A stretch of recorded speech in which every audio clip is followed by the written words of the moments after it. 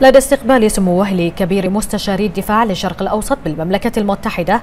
قال صاحب السمو الملكي الأمير خليفة بن سلمان آل خليفة رئيس الوزراء الموقر إننا سعداء للفهم المشترك الذي أصبح يميز التعاون البحريني البريطاني حيال القضايا المختلفة لأنه يعكس علاقات ودية متينة متطورة.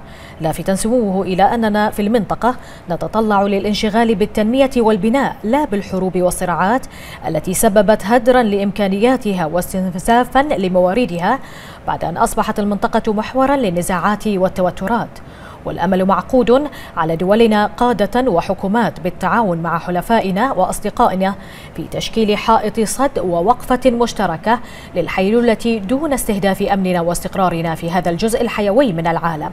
لذا من الواجب أن نجتمع ونتوحد ونتعاون كدول شقيقة وصديقة في مواجهة التحديات التي تحدق بنا جميعا والعمل على جعل وجهات النظر متفقة والتباينات في أضيق حدودها للوصول إلى الغايات التي ننشدها جميعا وهو أمن المنطقة وضمان استقرارها.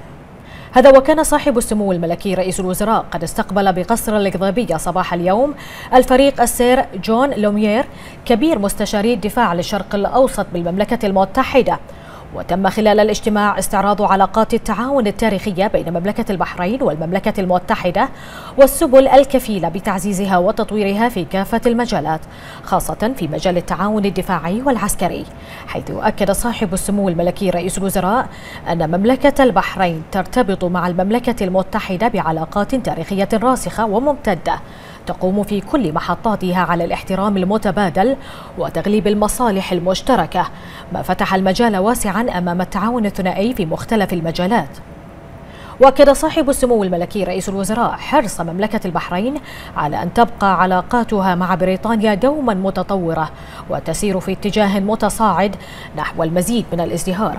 منوها سموه بالدور الذي تطلع به الخبرات البريطانية في المملكة في مسيرة البناء والتنمية والمجالات الأخرى.